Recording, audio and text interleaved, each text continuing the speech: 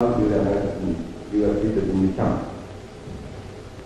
I get uh, adequate food and adequate clothing and medical care when I require it.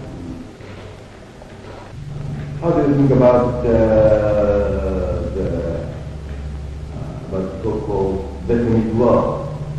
Do you think that's present about? it? Well, I don't know what uh, is happening, but uh, whatever the position of my government is, I support it fully. Whatever the position of my government is, I believe in it. Yes, sir. I am a member of that government.